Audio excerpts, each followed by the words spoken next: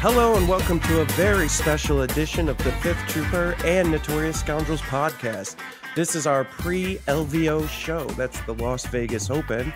And today I'm joined by David, aka Endless, Hey everybody. Kyle, aka Orkimedes, What's up? Mike, aka Dashz, Hey guys.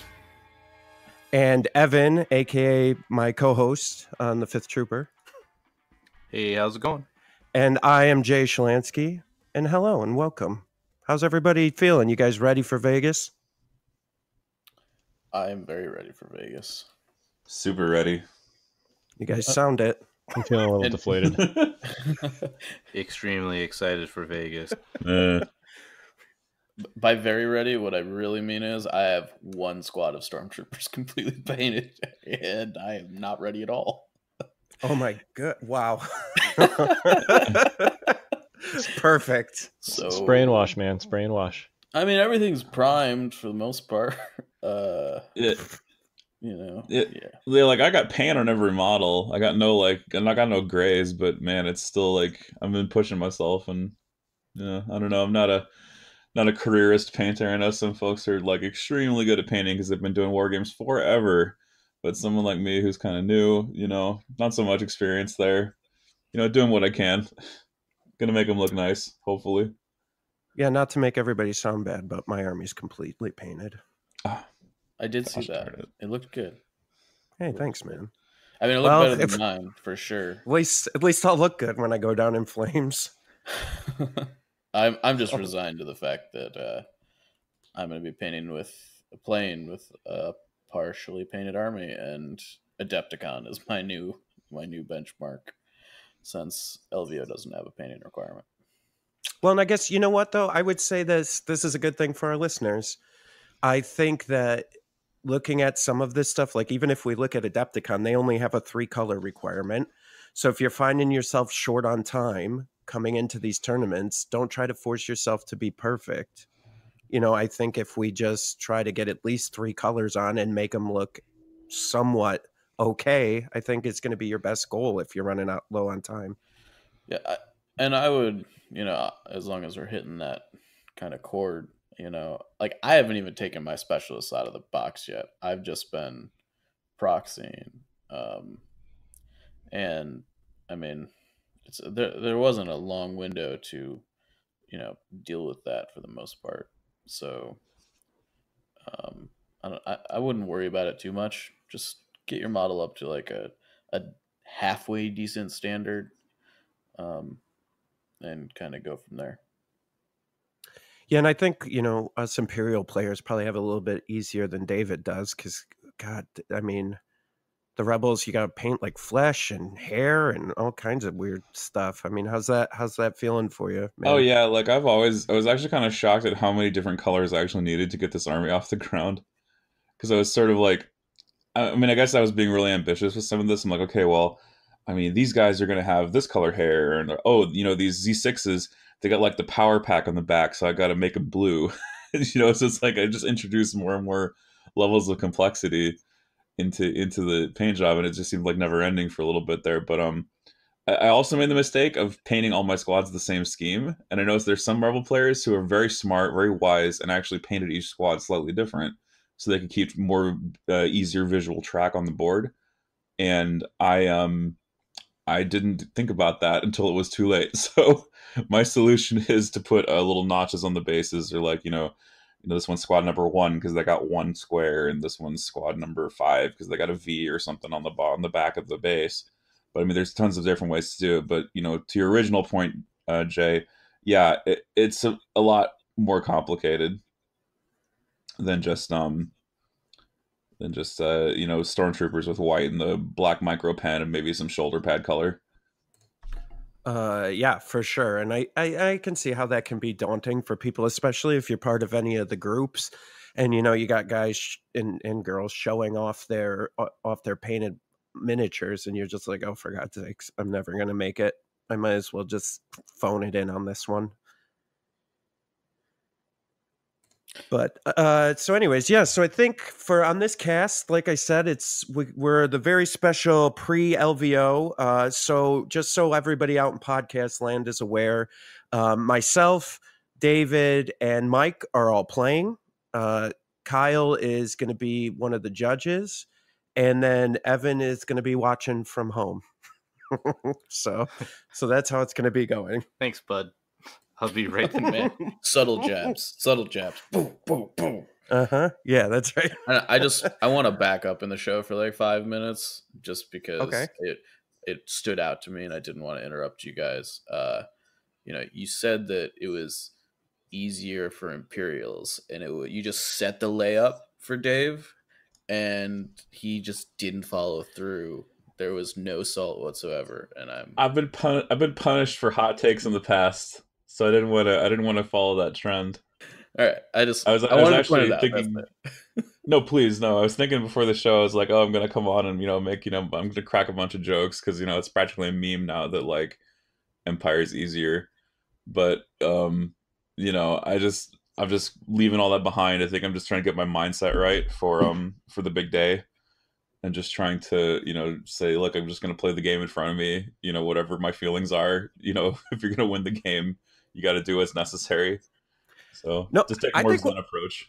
I think we should talk about this, not in a salt mine way, but I think I think this is a great segue into when you're going into a tournament on play style. And so so here's something I saw just in Buffalo. So I played Chris Cook.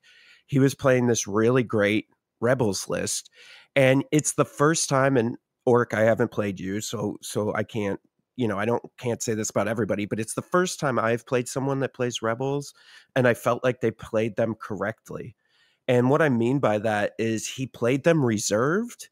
He played them like almost a come to me type style versus a a more aggressive style and he really utilized the dodge nimble um and and I I was very impressed by the way he was he was playing because uh, I think part of the problem, um, I think Rebels is a thinking man's army. And so I think you need to really be on top of your game when you're playing Rebels, and you got to utilize LOS and you got to utilize uh, cover and your dodge, and you got to be very strategic when you're playing Rebels, where I think Imperials is kind of a run and gun army. Even though you still have to be strategic, I think overall you there's a little bit more room for mistakes with with Imperials. I think that's true with regard to you know the core troops. Um, like it's if if your storms get caught out in the open, it's a little bit less punishing.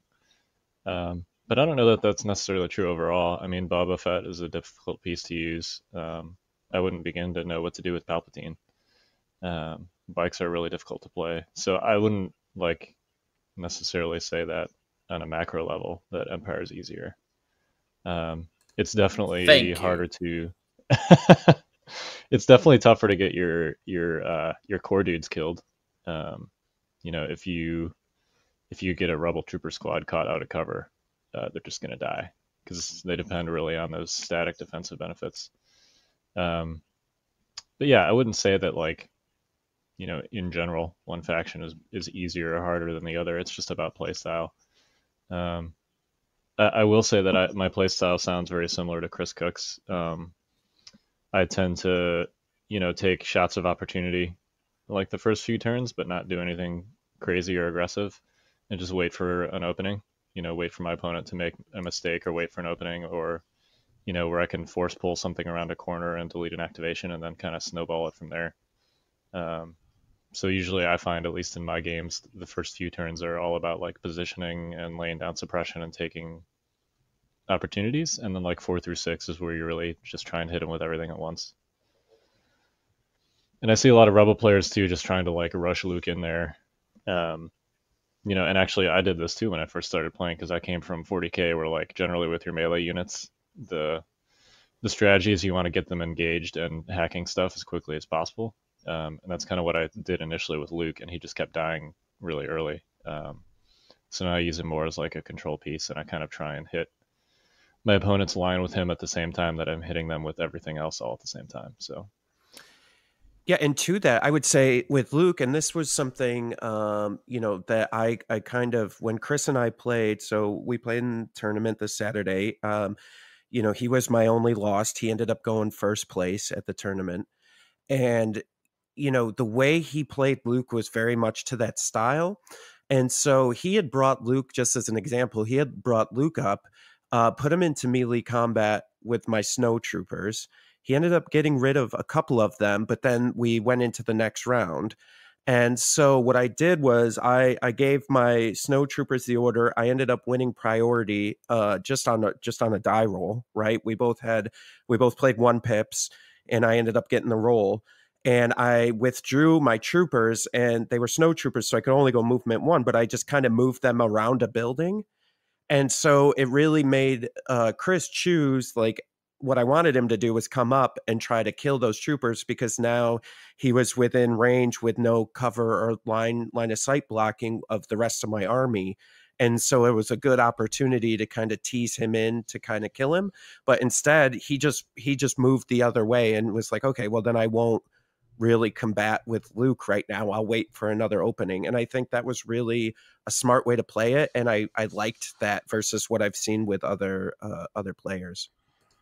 That's definitely one of the hardest things about this game is figuring out where that really fine line between committing to an aggressive move and uh, like knowing when to take a step back and maybe kite your opponent or do something like that um, like, like where that inflection point is uh, it's not always clear though most of the time it is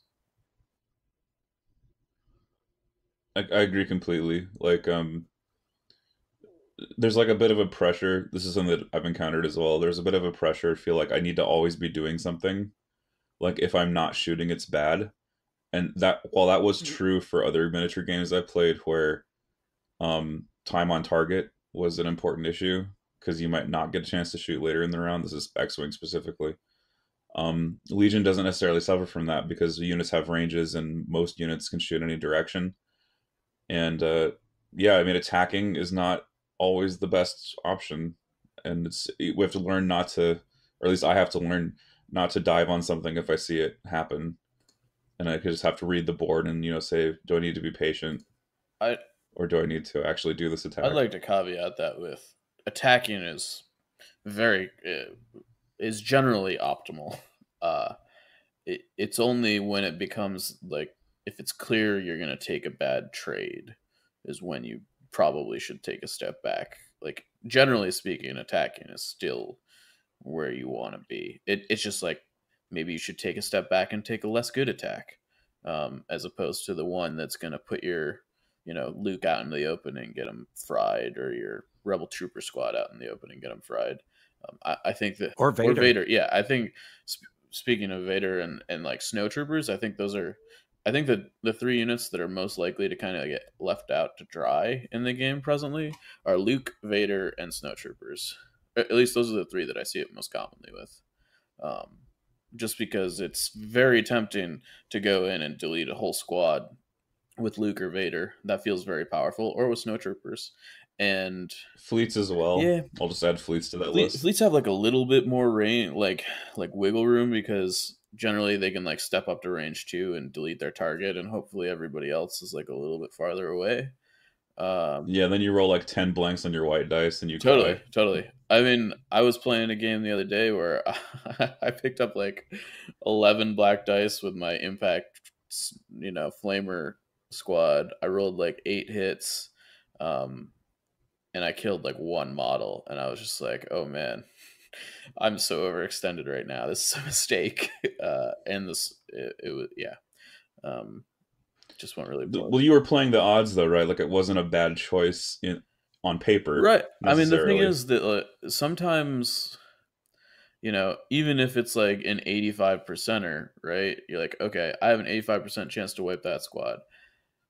Is the 15% of the time where you just completely whiff and i'm just spitballing on the math. I don't know exactly what the scenario was but let's assume that it was something like that. Like is is just completely losing that squad 15% of the time worth it? Because that that's what's going to happen if you don't delete the other unit generally.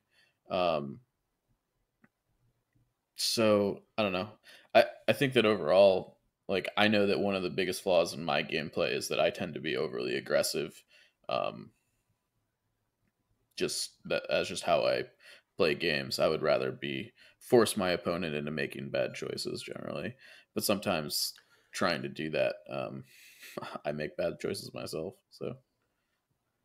Yeah, and I think to your point, uh, and this, you know, this kind of falls into that tactics and strategy standpoint is understanding that if you're going to push Vader, Luke, or even snowtroopers into a position where they're going to potentially wipe out an, an entire unit, you have to realize you're going to wipe out an entire unit, and is that going to leave you vulnerable now? Because you get you get that high or or that excitement about okay, I can take them out, and then that gets me whatever my objective is uh, to the next you know either to go grab an objective or for mov whatever whatever whatever you're looking to do and sometimes i think that clouds your judgment in the fact that oh man that unit's going to be gone and vader luke are just going to be hanging in the wind as my opponent moves the rest of his his his army up to then to just have open fire on that on that unit Yeah, I think it's especially easy to get like that blood rage with units like you described, Vader, Luke, Snows, units that have high damage potential. Um, you know, I call it uh, with Luke, I call it the Luke rage. Um, I don't know if you ever uh, guys have played 40k, but you know the God Khorne, there his saying is more more skulls for the skull throne, which basically means collect as many skulls as you can. And with Luke, it's like more helmets for the helmet throne with stormtroopers. Um, when I when I first started playing Luke, it's like, you know, I'd be like, oh, he's moving a stormtrooper unit within range two of Luke. He's gonna charge and kill him, and then he'd charge and kill him, and then there would be, you know, like four more stormtrooper units sitting there that hadn't activated yet, and suddenly he's out there with his ass in the wind, and you're like, oh, well, what do I do now? yeah, he does his thing, but then it's like, oh, I don't have cover. Oh, I don't have a dodge token. Oh, there's five things shooting me. Great. And then he just he just you just lose him right for the sake of like the one stormtrooper squad that was that looked vulnerable. Yep. A- anytime you trade down like that is just you know I- and that's the thing with with those with those specific units generally speaking the target you're firing at is almost always uh, less valuable than the unit you're firing with generally Right, and that that definitely doesn't mean like never charge them in there. You absolutely have to, um, but make sure you're doing it in a way that is calculated. You know, like engage a unit that's already activated so that they can't withdraw from you, um, or you know, do it near the end of the turn so there's less units to shoot you.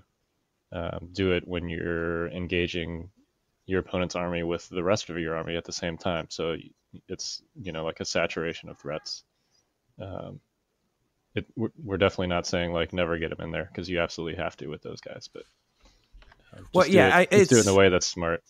right and it's just being it's just being aware of the next steps right and i think something that and i i don't know how your guys experience has been in this but my experience has been in it, it- i don't this may be an over exaggeration but i'll say it and you guys can shoot me down. It's almost like i feel like people sometimes forget that you can withdraw. And so you end up getting in a melee combat situation and both the aggressor and the defender seem to forget that withdraw is a thing. So it's like they'll either get in combat and try to hold the combat and then you're like well i'm just going to withdraw. So then these guys can light you up or vice versa you know the other or getting into combat with like stormtroopers with luke and then the stormtroopers try to punch luke and it's like well that's that's silly unless you're trying to kill him before his activation right? That's really the only time that you know but it's just it just seems odd that sometimes people forget about withdraw I, I think that overall the melee rules are underutilized and underabused by the majority of players. Um, include withdraw action included i think a lot of people are like oh man i'm a range two with this two-man stormtrooper squad i should shoot something uh, just because like it doesn't even occur to them that double moving them into melee with something just to like shut that unit's activation down next turn is probably way more valuable. especially with storms, you know, where those red saves, if your uh, target doesn't have pierce and melee, like that can really go a long way. Um, you know, I see that people make this mistake a lot with IRG and Wookiees, where they'll, where they'll like charge a storm unit, and then it'll take them like three turns, and they'll have one Wookiee left at the end of it after engaging that store unit. You know, like that's that's not a good trade. Yeah, this is like 102 level Legion where you're like looking at the board and being like, okay, um, how, what what what can I take away by running something into melee now?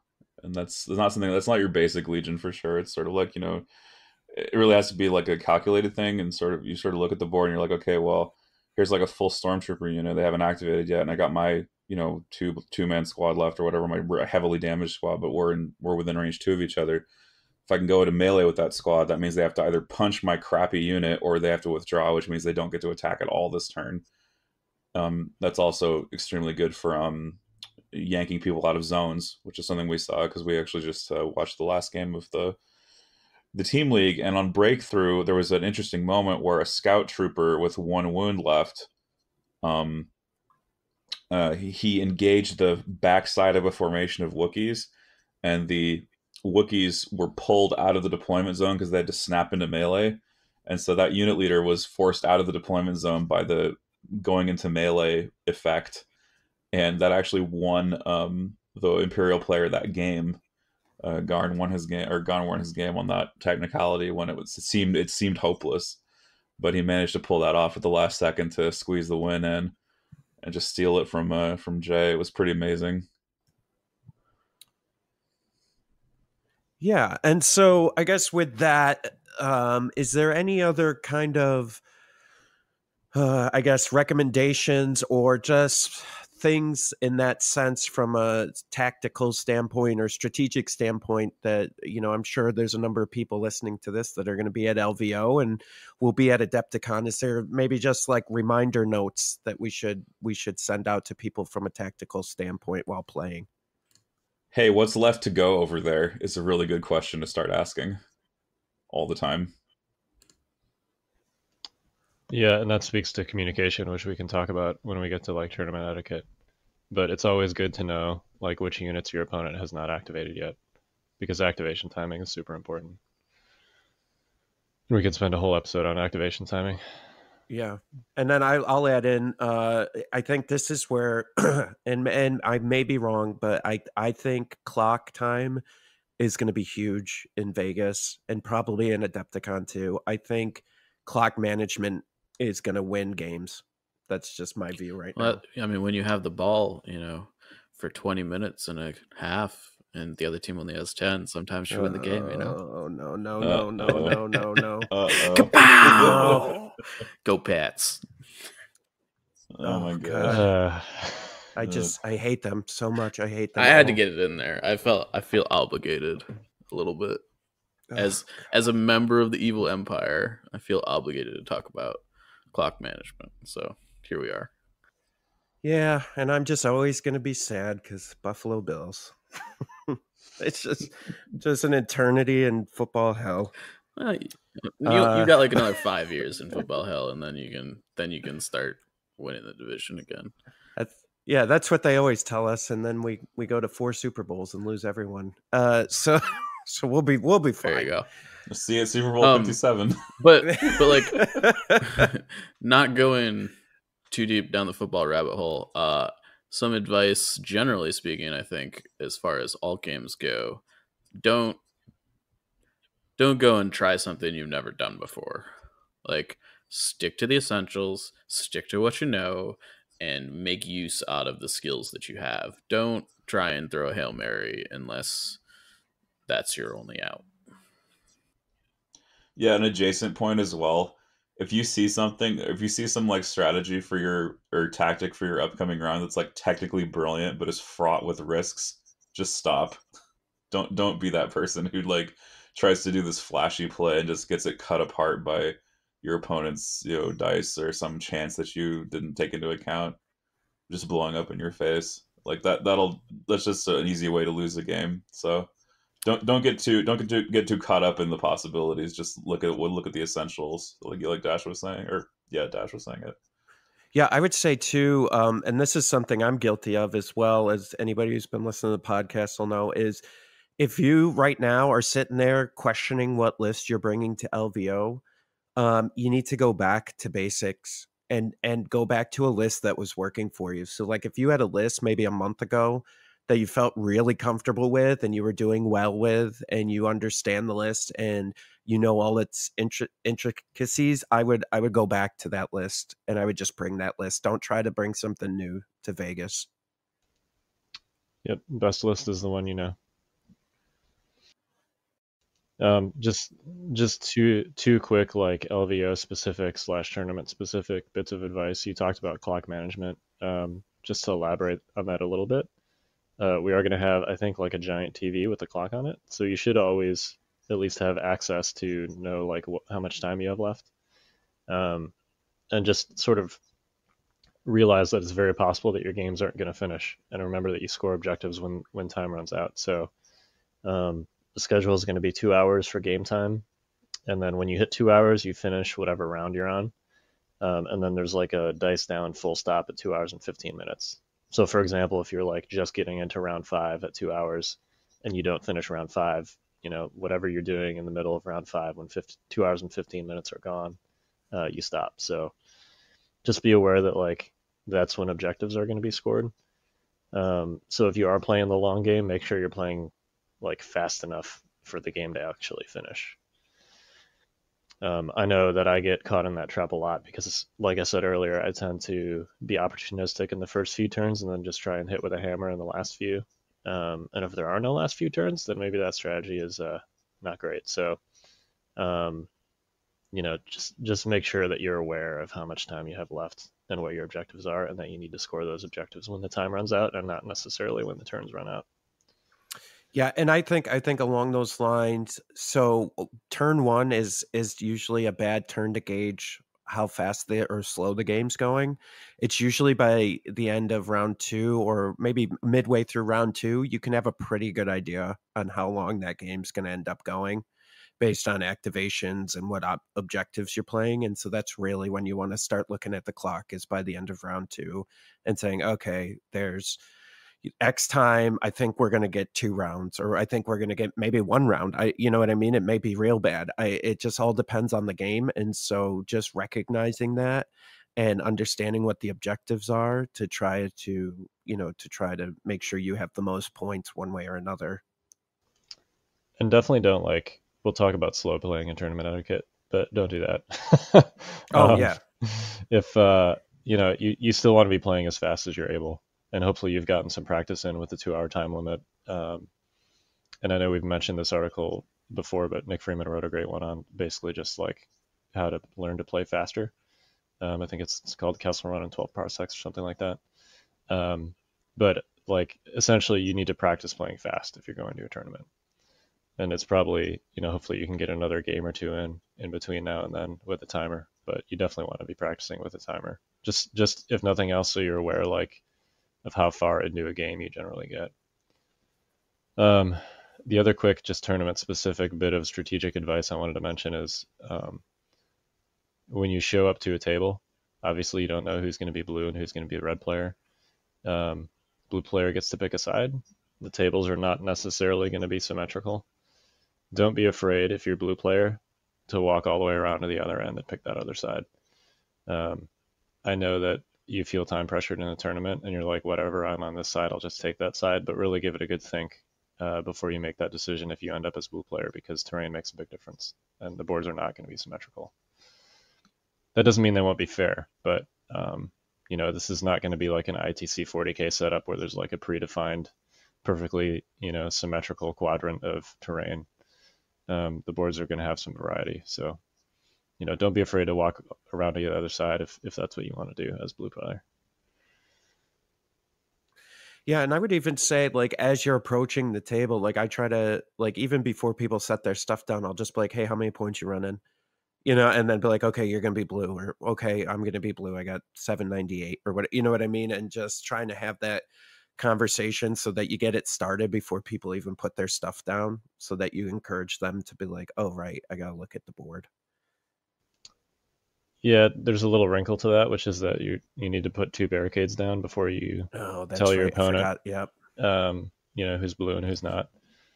Um, I'll let uh, I'll let my superiors explain exactly how that's going to work on the day of the tournament. But but don't just show up and tell your opponent your points.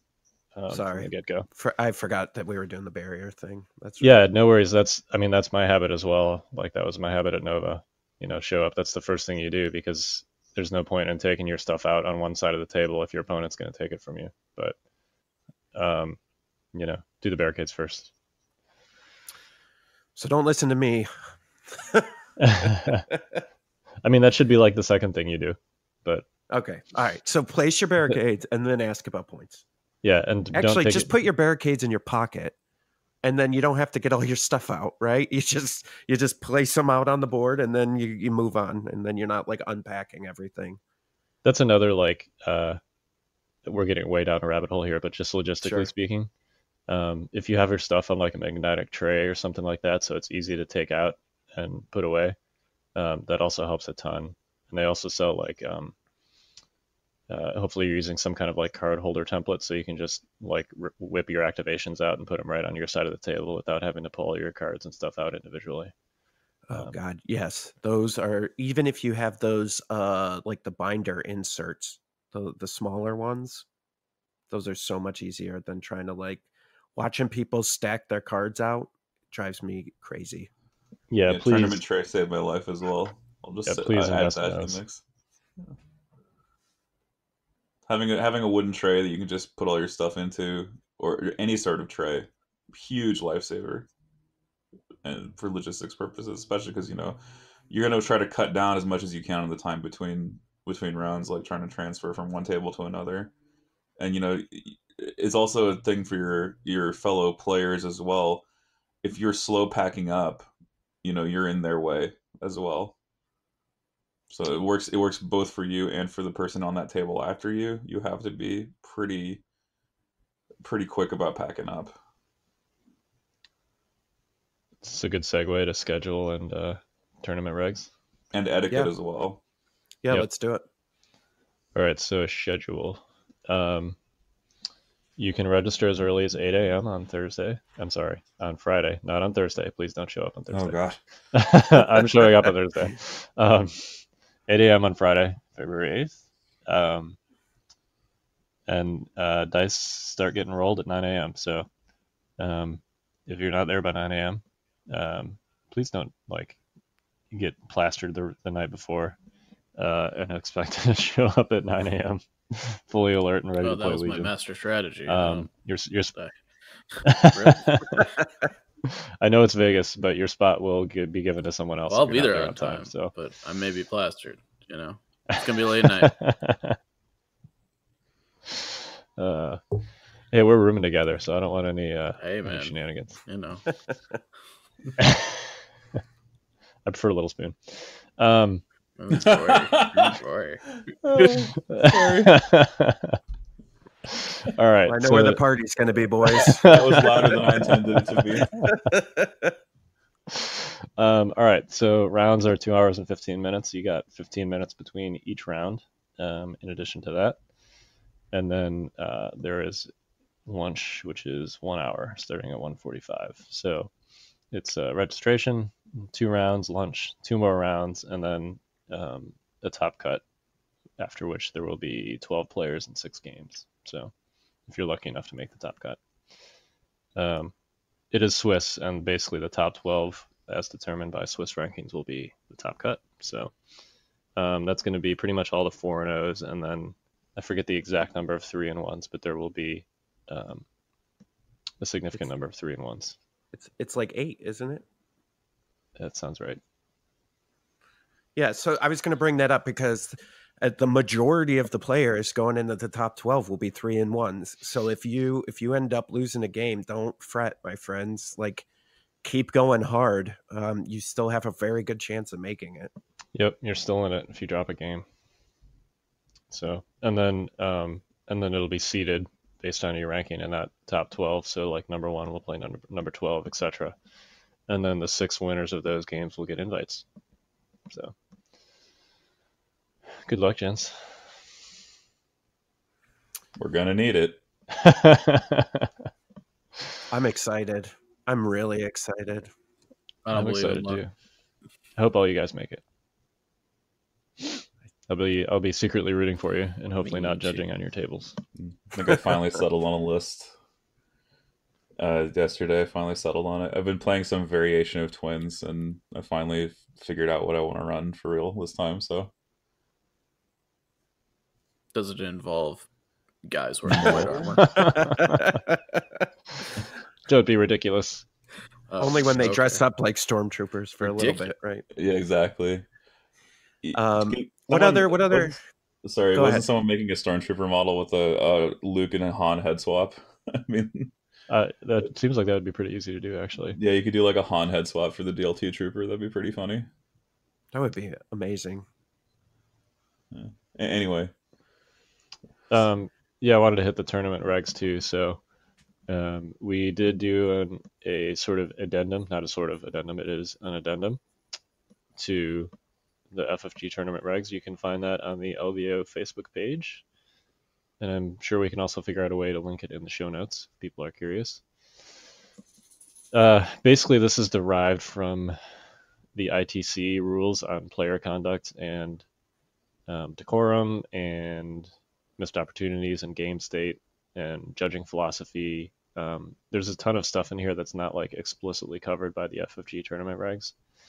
I'm not going to go into all of it. It's like a seven page document. Um, but you can basically distill the advice in here down to two things. Number one, communicate clearly with your opponent um, at all times about what they're doing and what you're doing. And number two, don't be a douche. Um, I like it. so if you can obey those two primary guidelines, then you don't have to worry about anything else in this. Um, but essentially, it outlines, you know, what sort of conduct is expected of you. Um, you know, things like don't use abusive language, um, don't try and deceive or mislead your opponent on things like rules. Um, uh, don't touch your miniatures if you're not moving them, things like that. Um,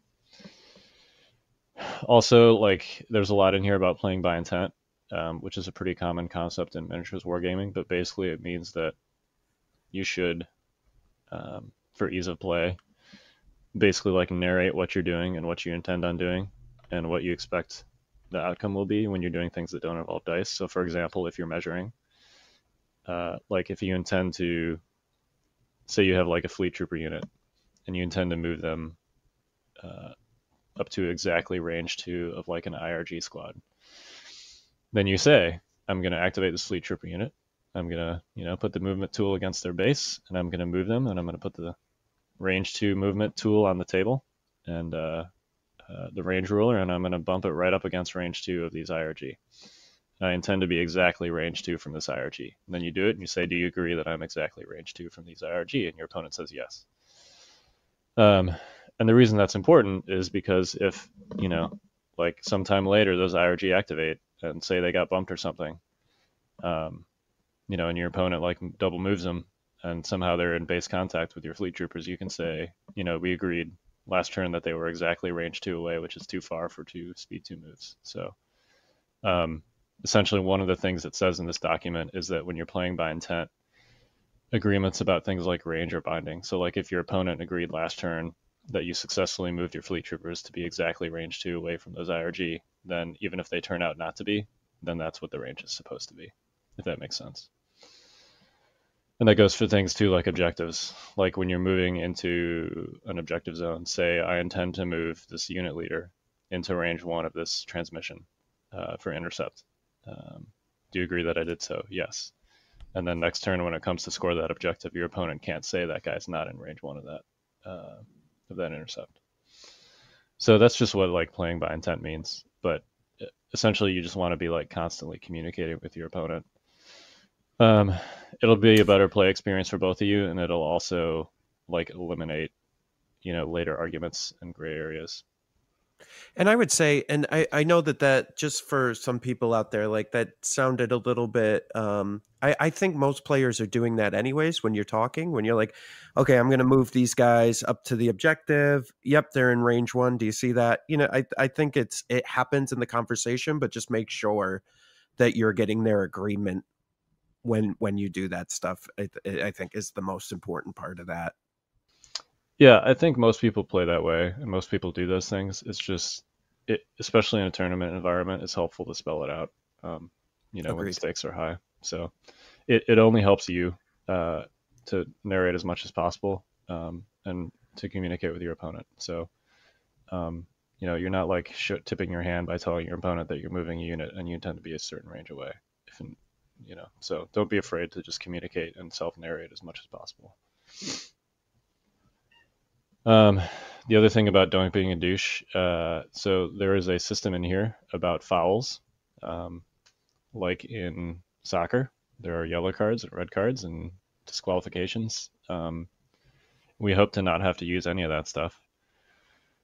But essentially, like if there's a violation, if the player makes an illegal move or you know cheats or something, again, we don't anticipate any of this, but um, there are uh, provisions outlined in here f- for punishments. So, for example, you know, if you do something that creates an illegal game state, we can, um, you know, and the other person calls a judge, we can show up and re- reverse that game state and then potentially penalize further depending on like the intent, perceived intent of the player. So, um, that's stuff to be aware of. Um, but if you're not a douche, then hopefully uh, it's not something that you ever have to um, be involved with yourself. So. And I would say on the opposite coin of that, just sorry, I'm just pl- trying to play the everyday man here, right? Um, I wouldn't get too worried about someone calling you on something that was maybe accidental or something you d- you just didn't realize. I think the judges are all very smart people, and they're going to be able to see that for you. So don't don't like freak out if you accidentally do something, or you know if you if you make a mistake. Um, it'll it'll wash out. People people will understand what happened. Yeah, and that's where you know that's where like self narrating helps a lot too because it'll be clear to your opponent what it is that you're trying to do. So like, you know, if you put the movement tool up against Luke and you're like, I'm moving Luke here, and then like you sneeze or something and knock Luke across the table and he ends up somewhere else, your opponent can't be like, oh, you wanted to put him there, there he is, you know. So Yeah. um,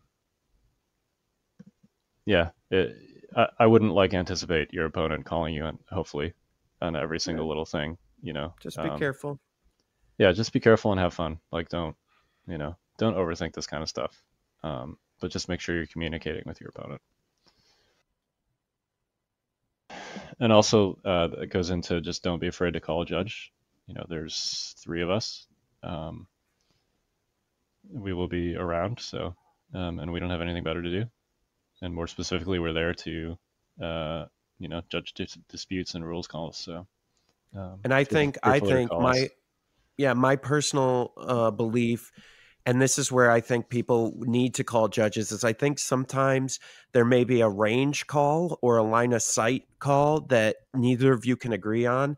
And I've seen tendency for people to just not bullied, but you know, just like if the other person's really emphatic about that that was not no, I you can't see his arm. You you know that they'll just be like, all right, man, whatever. Don't do that. Call a judge. That's why they're there. Just be like, hey, uh, let's just get the judge and see what they say. Yeah, just keep it cool and call a third party. There's no need to to embark on a you know shouting match or any kind. Yeah, don't don't think there's some kind of stigma like that you're being a douche to your opponent if you call a judge in a situation like that. You know, that's what that's what we're there for. So Yeah, I would say any and and sorry, not to beat this down, but like anytime you're questioning a, a call uh, during the game, just and and you don't feel comfortable, just call a judge. Just be like, you know what, man, I really, I just want to get a judge call on this because it's just making me uncomfortable, and that's it. Yep. Uh, you guys got anything else on like tournament etiquette? Can you can you talk about the foul system a little a little further? Just um, what what are you what are you giving penalties for? Like specifically, is it just anything that the anything that the judge is the judge deems it deems it worthy of? Yeah. So, um, you know, it says in the document, a foul is defined as an action taken by a player that violates the spirit of the game, the rules of the game, and or the rules set and guidelines set forth in this document. But mostly, it's going to be things like, um, I'm trying to, I, I can't even think of some examples because most people don't like do things that are going to run uh, afoul, no pun intended, of this um, document. But like if you just move your guy without putting a range a, uh, a movement tool down and it looks like you moved too far, or you know you picked up too much suppression between rounds or something like that.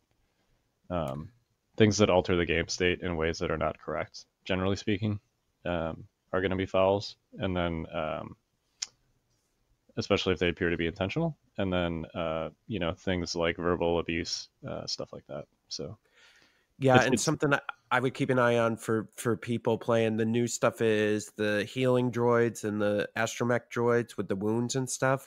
Just make sure you're paying attention to which unit they're healing and etc. Because I think that can get confusion confusing, especially if they have multiple droids out on the board. That's just something I've seen. So just just keep an eye out on that as something new. Yeah, I mean, like I said, like generally speaking, like there. So I want to I want to be clear too. There is a there is a difference between honest mistakes and things that will be fouls. Um, like ninety eight percent of things that you do that um, are going to be just honest mistakes, but you know things like changing dice after they're rolled, um, stuff like that, that could be an issue. So it. I don't anticipate, like I said, I'm, I'm hopefully we're not going to issue any yellow cards or red cards or anything like that. Um, but this document is there as a backstop in case we run into issues like that. So I'm not I'm not sure if that fully Yeah, answers is- your question or not, but No, it does. It does. I, I suspect that uh, out of the 64 players, 62 of them probably will never have to worry about or even ask about the foul system or interact with it at all. That's that's my hope anyway. I mean, my hope is you know nobody does, but um, like I I would be surprised if we had to do this um, frequently. Everybody's everybody there is an adult. You know, we're, we're all there playing with little plastic space dudes to have fun. So, um, this document is just a backstop in case somebody, uh, you know, turns that fun into something that's not in keeping with the rules and and or is abusive to their opponent. So, Yeah, and I guess so. Let's uh, let's talk about that a little bit. Um, I don't know if it's necessarily rules breaking or abusive, but I think there's things to watch out for as a player. And uh, we we were talking about this in the chat a little bit. Uh, what was it yesterday or the day before? But one of the things is when you're playing, um, if you've got an opponent who's talking a lot, there's there is this I don't know if it's ta- whatever you want to call it. It's a, a tactic, I guess, where they will state the intent of what you're going to do to almost manipulate your next move. So to be like, oh hey, that snow trooper is going to move into melee contact with Luke now, isn't he? You know what I mean? And and that probably isn't the best move for you, but you're like, oh, I didn't even think of that, and then you, know what I mean. So uh, that's just I, I think we should have a little segment here about just things to look out for. So like a recommendation there would be I would just shut down listening to them unless it's something specific about their movement or range. Um, and if they're talking about your army or talking about something else, just tune them out. The comms jammer upgrade. It's the one case that this upgrade's actually worth anything.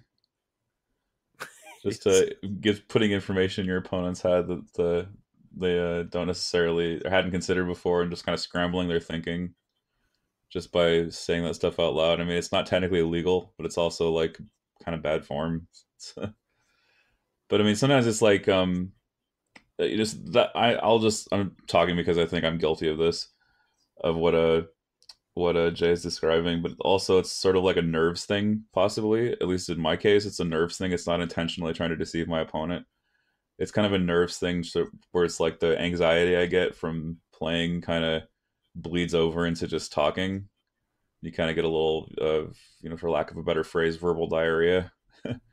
your uh, your inner monologue becomes your outer your outer monologue a little bit. So uh, so I mean, I don't, I don't know if I've ever encountered that intentionally, like someone's like trying to intentionally mislead me into making a, a subpar choice, and I think in that case that would definitely be a foul.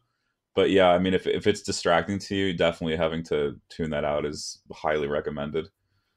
Well, Um, and I guess I'm just saying it in a way like, and and I I don't necessarily even it doesn't even need to be nefarious.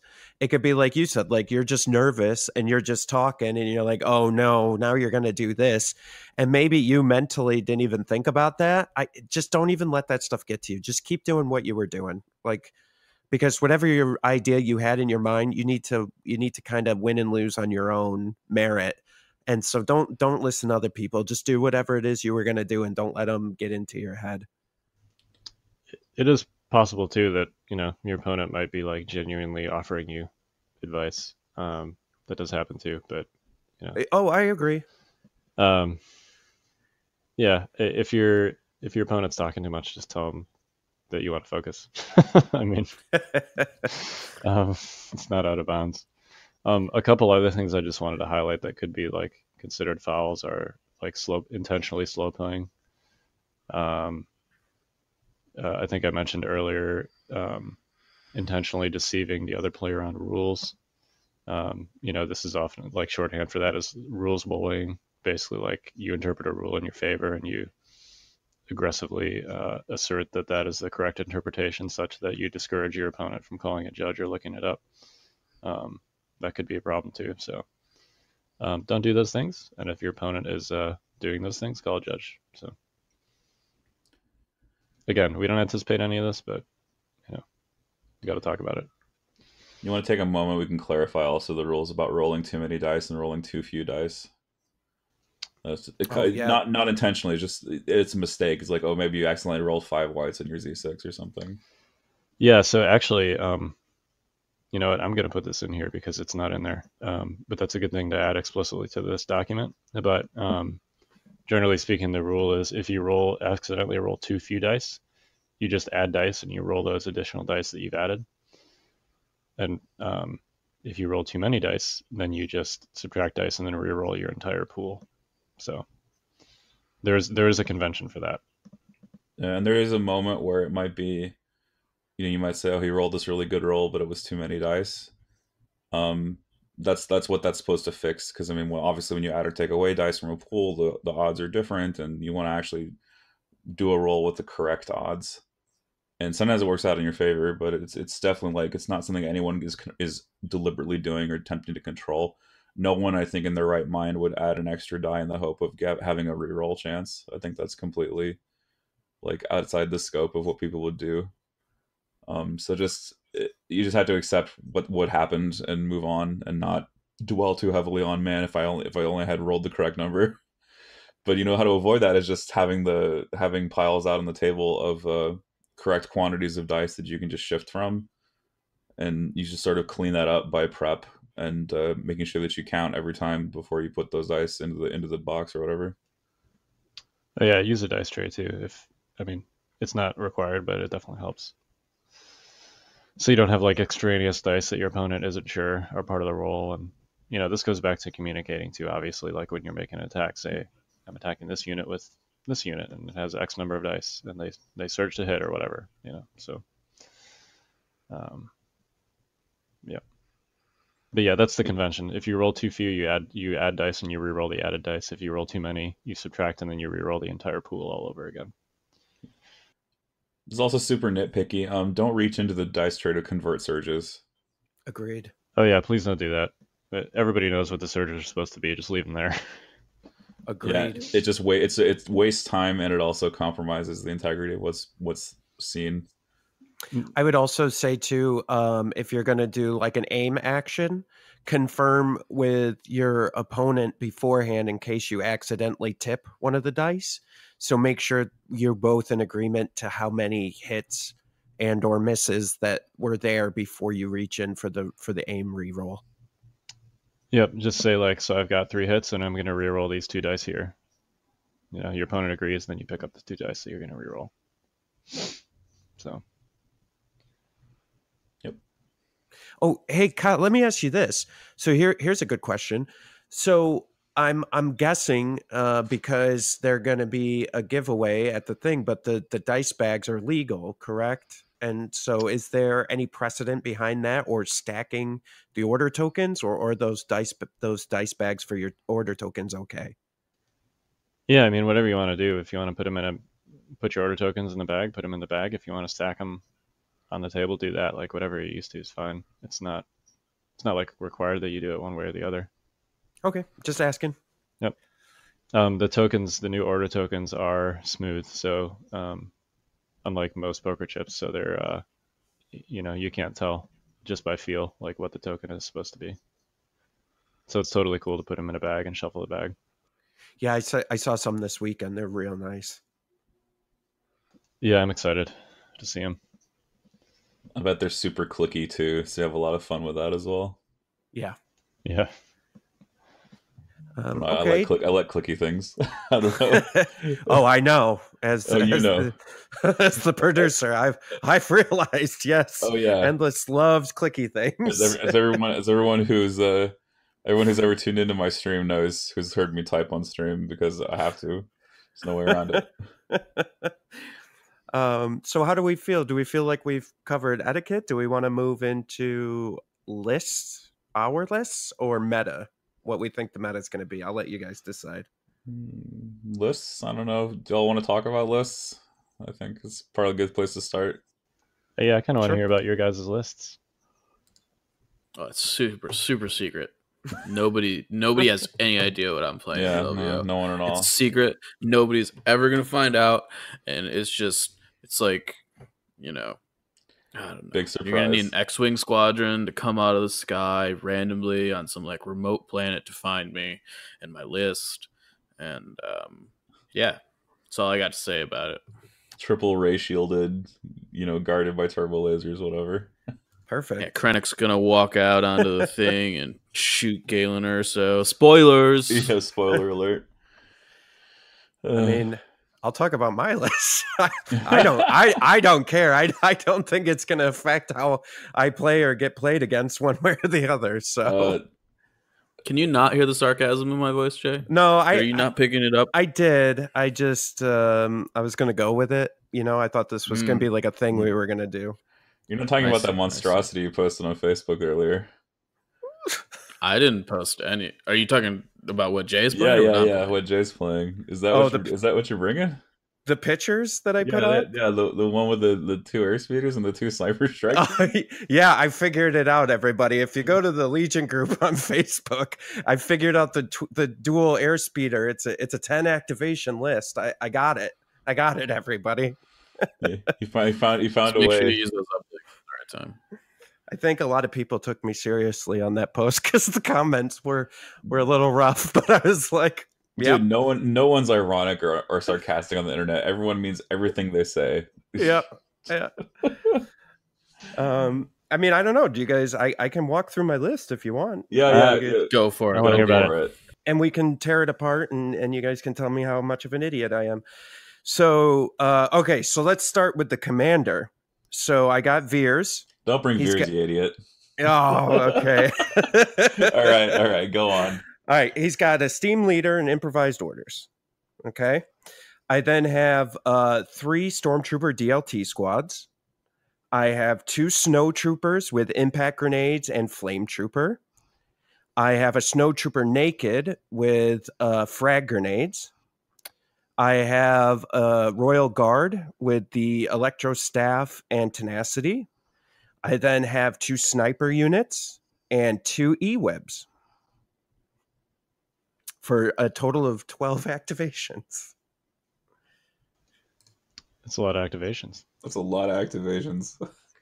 So Yeah, I- and I'll just I'll just say this real quick and then you guys so so what happened was and everybody you know I kind of I think I had maybe a mental break on my last podcast and everybody people were like reaching out to me like asking if I was okay like uh uh Gordon you guys know Gordon he he reached out to me he's like hey man is everything okay with your list?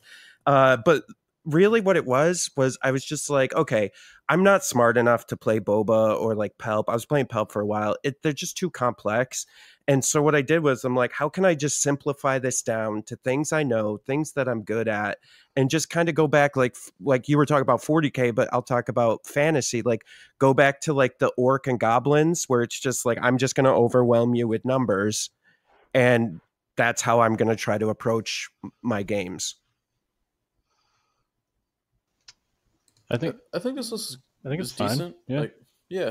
I I think that any list that is eleven activations plus can win just about any game. Uh, all it takes is you to like net like plus two activations on like a 10 or 11 activation list with your list and you're in really good shape regardless of what units they have i, and I think the one thing you got to be really careful of is is a lightsaber wielder getting up in your grill, um, Yes. because you don't really have a lot of tools to deal with that. So, other than shooting them before they get there. yeah don't let them scope your electro staff guard is Yeah. Right. the- Yeah, and what I've found is with the list, it's um, I uh, you know I I have a tendency to play them really close to, to the like in proximity. I mean, like range wise, they're really close to each other, and so I feel like the I've I've faced a Vader, an ATST, a Luke, and another Vader with this list. And they and all of them, I've gotten considerable wounds on everything before they made it into a range where they could do some damage and so I've I've felt pretty comfortable with it as far as like taking down force users before they can like really do some damage, and then you know maybe I'll toss one of the troops that's dwindling in the way to just kind of slow them down. You know what I mean? So then I can shoot them with the rest of the unit once they've killed that unit, or I can withdraw and then shoot them. So it's it's it's been pretty good. Yeah, that definitely works. Um, you know, I would say just make sure, like, if you're up against a lightsaber wielder, just keep your IRG in reserve until that lightsaber wielder um, commits to something. Yeah, I agree. Uh, yeah, you, you you keep them behind the lines, behind line of sight, and then once once they've made a committed move, that's yeah, that's how you then roll out the the IRG and say, okay, buddy, now you got to deal with this. Who's next? Well, we did one Empire. I guess I can take a crack at it. Seeing as I'm the, on this cast in terms of playing, I'm the only Rebel player who's playing and not judging. Um, so I've been playing Twins for the last two months, basically. Um, not that I haven't tried other lists in the meantime. Like I, I was seriously considering for LVO at first, uh, Luke Han, but um, I kept running into situations where I'd just lose Han early, or um, I'd really, really regret not having coordinated bombardment to take wounds off the top for my opponent. So I played Luke Han for a while, and then I went back to Wonder Twins with Leia, and it was just so I felt so much freedom because it's like, wow, you know, I'm really like my opponents really um, respect my bombardment, and that actually gives me some positional advantages early because they, they super respect the idea that Leia can just deploy and, and take like four or five wounds off their list with good with some good dice in my favor. And plus, it also like discourages sniper teams to deploy with any model showing, which is super useful because that can potentially, I say potentially, because viewers can pass um, snipers aim tokens, potentially deny aim actions on round one. Um, but yeah, I was doing Luke Han, and then I went to play Wonder Twins, and I thought, okay, well, I'm going to try the Wookiees out with my Wonder Twins, and it just didn't quite pan out the way I, I pictured it, and that might have been operator error because I think some other players who've stuck with the Wookiees have showed me that Wookiees are actually extremely threatening and dangerous. But every time I play against the single Wookiee list, um, you know, maybe I've just had the benefit of my opponents making an error. Maybe I just have too many units, but they'll try to they'll try to come across the field toward me, and uh, they'll just get gunned down before they get in contact with me. Um, when I play when I was playing Luke Leia Chewie, I went up against a triple Wookiees list, and my opponent was just too sanguine with them. And I actually deleted two Wookiee units before they made contact with my lines. But the one unit that did get in was like tearing me apart. Like I had to eventually I had to sic Chewie on them and just try to alpha them away because they were doing so much damage to me. And it was like one of those cases where like you know Chewie would swing at him and deal like five wounds. They'd swing back at Chewie, they'd deal four wounds. You know, it was like really like who has initiative determines who wins the outcome in that battle. But anyway, after ruling out Luke Han, I just said, okay, well, I'm going to play Wonder Twins. Then I kind of ruled out the Wookiees because, like, man, there's this is a really expensive unit that if I screw up with it, I'm just going to lose 114 points for little to no effect. And then uh, when the specialist came, I thought, okay, well, I'm going to do the com relay stuff. And so I had to you know, alter my composition yet again. So I said, okay, well, then I'm going to try Wonder Twins with an officer fleet, 4Z6 as a comm relay, and do triple snipers because I think triple snipers, when they roll well, are really oppressive. And how am I going to get around, you know, coordinated fire? Well, one of the best ways to get around coordinated fire is to deal a bunch of suppression early and or take models off the board before they get in range to do it. And uh, Leia and three snipers with a bit of luck, you know, let's say Leia lands every hit and the snipers land every hit, that's potentially uh, nine wounds. But that's really rare. It's going to be more like five or six. But still, like if you concentrate your fire, you can potentially weaken or destroy a squad before it gets close to you. Um, so that's one of the biggest reasons I took triple sniper um, and bombard. Um, but the fleets just weren't, weren't really pulling their weight cost wise. And so I kind of just went back to basics. And after consulting with Orc for a while, I settled on um, Wonder Twins with a fleet, five Z6 troopers, and three snipers. It's probably the most optimal non Wookiee Luke list that exists right now. Um, just six core units, three snipers. Um, takes improv on Leia. Just decide it does take covering fire because the effect is slightly better than Save Our Skins. I think, and in it comes out in the wash kind of. Um, because you probably aren't moving first with your with your heroes anyway, and if you do draw a commander, well, you know Leia going first isn't all that bad, so you might not even need to use improv on that turn. Um, so the relay thing, I think, in in hindsight, was a bit of a trap when I recommended people try it, at least for the rebels. I think relay is really good on the Imperials, and I'm sure Dash's will tell us more about that when we talk about his list. But um, yeah, so, I mean this list has it all. It's got Luke with Force Push, JMT, Emergency Stims, JMT being Jedi Mind Trick, Leia Improv Esteemed, Naked Fleet, five Z six, three snipers, has a three point bid on to boot. So it's got it's got a plenty going for it, and I feel pretty good about what I'm taking to LVO now. Uh, you got a shotgun on the fleets, right? Oh yeah, I, I do have a scatter gun in the fleet. It's not when I say naked fleet, I mean no like no, no officer, officer no yep. personnel, no gear, not even environmental gear. It's just raw raw efficiency and firepower. Boring as hell. It's core spam, but it's it's it works, man. Yeah, I just have, I, would, I just have more bodies than my opponent at the end of the game. yeah, and I mean for me, you know, I had I had the comms relay and the guy on one of my snow trooper units, and it was fine and it worked great. But I just found that I really missed improvised orders a lot, and so I just kind of switched that 15 points out and put esteem leader and improvised order on Veers because it just felt better. Yeah, improv is is weird. It's like it's probably the best card. You know, it's among the best cards in the game right? Because it's it's universal. Like you can use it anytime. Um, it refreshes every time you use it. So, you know, it's it, it, it does a lot of what Com Relay was trying to do anyway. It takes you most of the way there because Com Relay is like taking very direct control and saying, I'm going to force an order token to go somewhere that it wouldn't otherwise go. Where improv is kind of doing the same thing and just saying, I'm just going to delay once, hmm. and that that's usually enough, right? Yeah, I mean, we we did talk about last week how comms relay is proactive and improv is reactive, right? Mm-hmm. Like if if you need something to go first, um, like in the coordinated fire build where you need or want Veers to go first, then you need comms relay. Um, but like if you're just trying to, you know, keep your non-core units in a reactive state, then improv is good for that.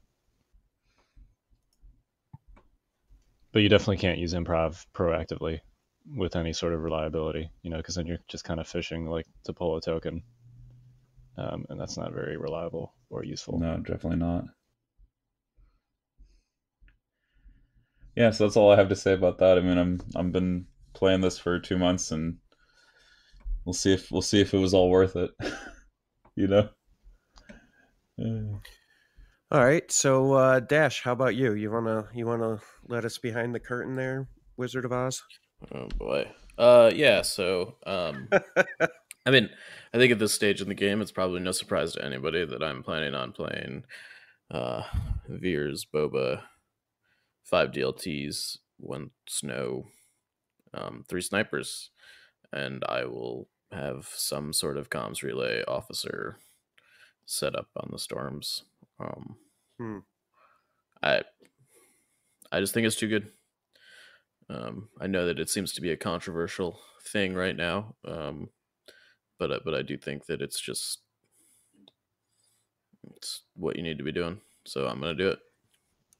I mean, it's not like Veers Boba was a bad list. Yeah, You know, you know. three weeks ago, that, I mean- that was a very optimal top tier list I- already. so I've been playing some Veers Boba with without coordinated fire, and um, it certainly didn't need it, but uh, it, it's um, certainly yeah it pushes it over the top in my mind.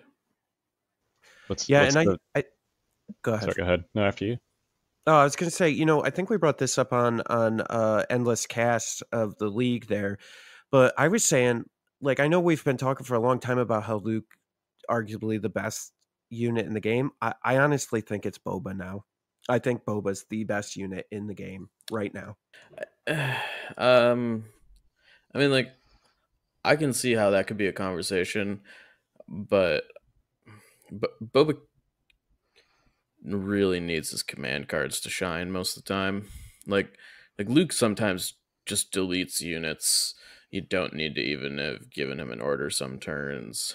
Um, you know, he, he doesn't need Son of Skywalker to be good. He doesn't need My Ally Is the Force to be good.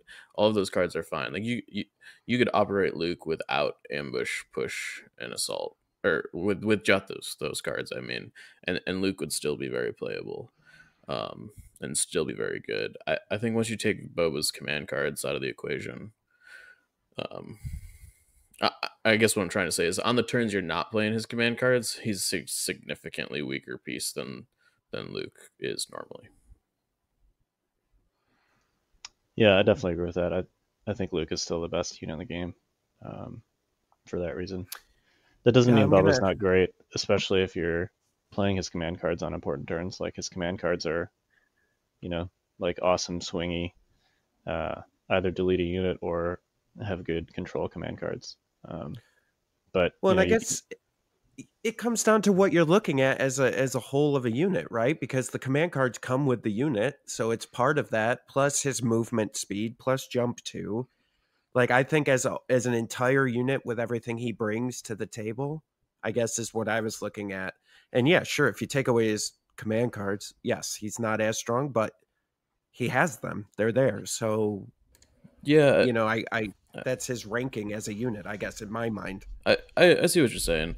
I just um you know, you kind of have to give up control of your army to play Boba. You don't have to do that to play Luke, you know. That's fair. um and and and not like in Veers Boba, it's really not that big a deal. like all of the units other than Boba in the Veers Boba list are pretty interchangeable for the most part. Um maybe with the exception of Veers, but on on turns where you're not issuing him an order directly anyways, you know, when he goes is a little bit less important unless you need to get like a a, a hard inspire off or something. But um yeah, I mean I, I definitely think he's he's probably the best Imperial unit. I, I think that we can I can say that pretty confidently. Um he's certainly the most versatile Imperial unit. I think the whipcord effect kind of takes it over the top for me as a rebel player. Because, like, I mean, I guess in terms of relative strength, like, say I'm playing what what I would consider the best list for for rebels, and then I'm playing that against the what I would consider the best list for Imperial as well.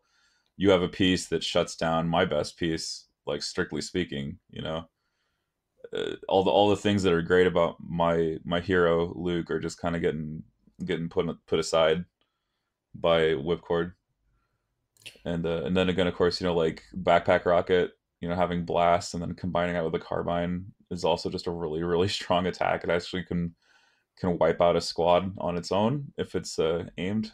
So it gets pretty it's pretty serious the kind of damage that boba can throw over range and of course the mobility is just crazy i think th- speed 3 jump 2 is probably as mobile as it gets for troopers um so he's got he's definitely got a lot of like the best qualities possible. And if I had to, you know, it, it's still like definitely a toss up. But I think Boba there's a lot of times that Boba can just mess Luke up really bad.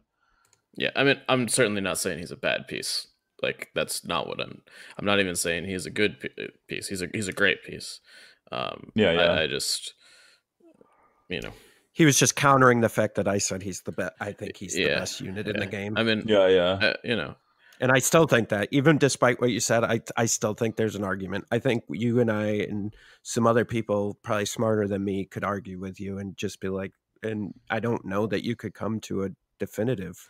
I I, I- believe. I, I think, That's the beauty of Legion, though. yeah, that, yeah. also. Yes. I, yeah. I think that um, if the the one major thing other than the attack pool that really sets the two apart is the immune pierce keyword. Impervious is good, but it's not immune pierce. Um, That's fair.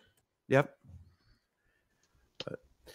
All right. So, do we want to transition a little bit as we're winding down? Uh, we want to talk about what we're going to see for meta. Uh, actually, I haven't heard from Evan. Evan, you think uh, you've been playing Veer's bikes again? You think that's going to show at LVO? Evan. Uh, probably. Uh, I really hate it now. With all the new stuff out, I really just hate it. Uh, bikes explode. Uh, stormtroop, uh, flame troopers with frag grenades are really mean. Uh, so I mean, if someone brings it, they better be real good with it. Thoughts from the scoundrels? Yeah, I mean, I I think that I think overall, um, bikes could get in there this tournament. I, I think it's something that pe- thinks it's like one of the things people won't be They- expecting. They're still played. Yeah, They have problems against the list that I bring, you know, which is, you know, Bombard taking wounds off. And then, like, if you get a good Bombard that puts two wounds and then one sniper, it's like, pow, there's there's your half your half bike immediately. Like, before they've even moved. And one bike feels real bad. Oh, yeah. One bike Yeah, feels like- horrible. when uh I stopped I remember why I stopped playing it because Bombard and Snipers came out. And I the biggest thing I hate in any miniature game, that's why I never really got into Warhammer, is losing stuff turn zero. I feel like that's a really just feels bad mechanic in any game. So I was really always on edge when uh, maximum firepower and coordinated bombardment came out because they can hit you across the table, infinite range. So I still don't really like snipers, uh, but they're part of the game now. So uh, I just have to change what I got to do.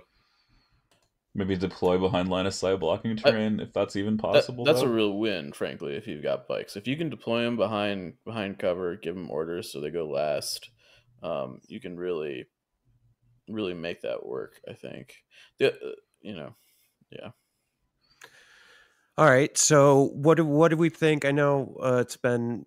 I think I think there's a solid chance of seeing an ATST list in maybe the top twelve.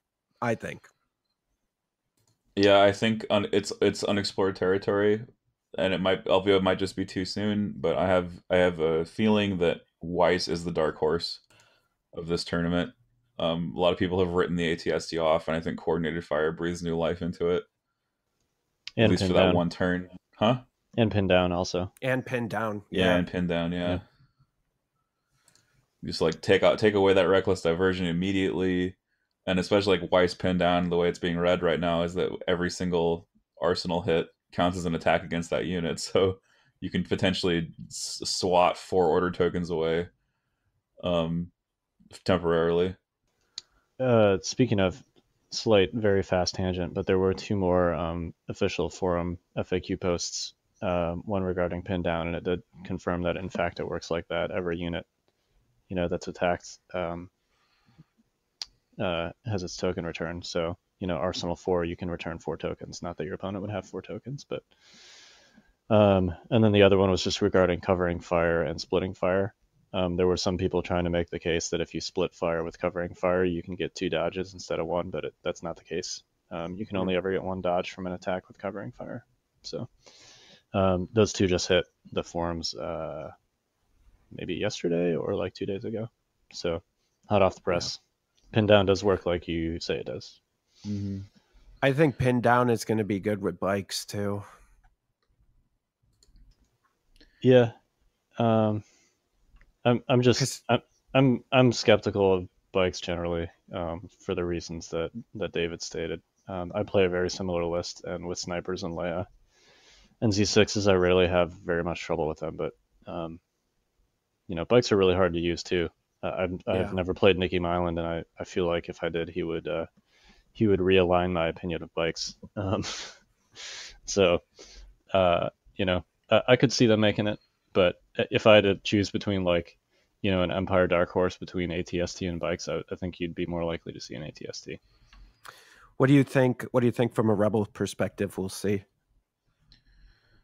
Luke all day, but we'll also see um Luke Ch- or sorry, not Luke Han, but uh we'll see Luke. It'll probably be Luke, Leia, Luke Han, uh, or we'll see um Han, Chewie, Leia. That's a thing that is still out there. ATRTs. You think will be? I'll make a make it back. Oh yeah, barbecue, hundred So, percent. somebody's well, gonna bring an I think you're- with a bunch of droids. Like that's definitely gonna happen. Yeah, Yeah, I, I think you're gonna see that. I don't know if they'll make um, top twelve, but I think you'll definitely see some people like spam RTs with astromechs. they'll catch someone with their pants down, and uh, yeah, and they'll have no pants because they've been burned off. Yeah, uh, I, I I. I love that list, spicy chicken combo. I I, I want to make it happen. Um, and then I think I think Veers Boba. That's another solid list, and I think it's going to be Dash, like you said. I think all the kind of like other stuff you can fill in and make. So I think you're going to see a bunch of variations of it, but I think you're going to see Veers Boba for days. Yeah, I mean, I, I think it's sort of like, for the most part, re- people are not switching factions. You know, um, if they played Rebels, they're probably still going to play Rebels. If they played Imperials, they're probably going to still play Imperials. I, I think the split's going to be, you know, probably the 55 45 or 60 40 that we're expecting. And, you know, um, I- think it's possible we see an ATST hit, you know, do well. I think that's the the biggest component of all of these kind of dark horse, you know, um, things is that the terrain has to be right for a lot of these units to be successful. And from what we've seen, at least in the pictures that um, LJ has posted, th- these boards are a lot more congested than Nova and Gen Con, which I think takes away a little bit from things like the ATST and maybe gives back a little bit to things like bikes. Um, so we'll see. All right, so wrapping up, I, I'll go down the line here. What and the question's going to be, what are you looking forward to most about LVO? And I'll start with, uh, let's start with Orc. Orc, what are you looking forward to most at LVO? Uh, I'm just looking forward to meeting everybody. Um, there's going to be a ton of people there that I've only ever met on the Discord or on Facebook, um, and I'm excited to meet all of them. So, Uh, Mike, anything anything different for you or? Uh, I mean, I'm uh, go in with a very specific purpose in mind. You know, uh, I, I'm definitely going to do some socializing and you know probably some casual games and stuff. But I am there to um, redeem myself from losing to to Kyle at Nova. Um, and uh, we kind of secure that high command invite. So um, I, I'm looking forward to being able to not have to worry about that after LVO. And if I do have to worry about it, there's the last chance qualifier. So um, we'll see. But I would like to kind of get that out of the way. David. So this trip has a lot of firsts for me. It's my first time playing at a large convention.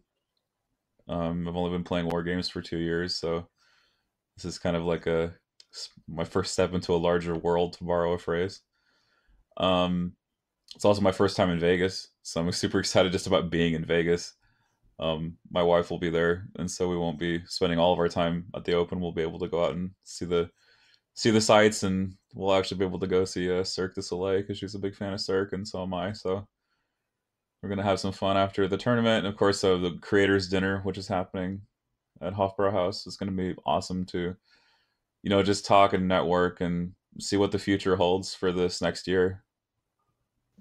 yeah, just uh, for the content creator side. Sorry, go ahead. yeah, I'm I'm sad that I'm not going to be able to make that. Um, the only flight I could Yeah. get was in the afternoon on Saturday. Yeah. So, I think we ended up booking the same Yeah, me flight too. back. yeah, I think, yep, I think we're on the same flight. Yeah, I'm leaving. I'm leaving in the morning on Saturday too, so I'm not going to be able just- to make it. All the flights Yeah. on Saturday were like four hundred dollars cheaper than any of the ones on Sunday. So Yep. it's just like, yeah, I'm not going to pay an extra four hundred dollars for the flight and an extra, you know, 150 dollars for the hotel room just to kind of stick around for a day. So Yeah, it's I guess Uh, those East Coast flights. That's where they get you. Yeah. Yep. Especially if you come from a podunk town like I do. Uh, Hmm. So I think for me, I'm I'm looking forward to, and I wanted to say this, but I'm looking forward to real competition. Not that we don't have a few players up in this area that are really really good. I'm looking at you, Cook boys, but eh, you know I I'm looking forward to like seeing what is really out there because I think we can become insulated. Like even when we do the team league and we see the invader league stuff, I think that's not a real good gauge as far as where people are skill wise. And so I'm really looking forward to see what the skill level is uh, of of everyone else, but also myself to see where I really do stack up against people. Yeah, playing a this, this is my this might be a little woo woo, but I'm gonna offer this to the for the consumption of the cast and for our audience. Um, when you got two people who are, you know, being friendly with each other and playing a game of Legion and playing playing it at a high level together, presuming there's no like inherent animosity between the two players, um, it's a beautiful thing. It's it's an awesome like it, it's almost like performance art. It's like an expression of the game itself. It's a little woo woo, I know, but but I mean that that itself alone, like that experience where it's like the two of you are, are working to create this this um battle that is like visually stunning. It's also technically amazing and correct, and you're kind of you're kind of solving a very complex problem together. So there's kind of a, a neat little positive hit that I get at least when I encounter that situation at on the table. I want to be very clear. I'm not But I solving mean, a problem with my opponent. sorry. I'm creating one. Right, right. I was about to mention that dichotomy. Um, so like some people have to view their enemies as as as or not view their sorry view their opponents as an enemy, and I'm sort of trying to view my opponents as you know someone who is you know equally skilled or at least as you know tuned in the way I'm tuned in, and we're gonna discover what the best course of action is for a given situation and just learn more about you know we're sort of deciphering the mysteries of the game rather than I'm here to mess your day up. The only enemy at my tables is going to be myself. Oh God, I don't even. my opponent, I don't even know. They're doing whatever they do. It's just me. I'm I'm usually messing up my own game, so that'll be interesting. It's, Yeah. it's deep. That's deep. Yeah, that's right. That's that's what we do on the fifth like we're in the middle boys. of like an episode of Cosmos or something. a master class on overthinking Yeah. it. Yeah, oh yeah. If you if you guys want to learn how not to play, come watch me at Vegas.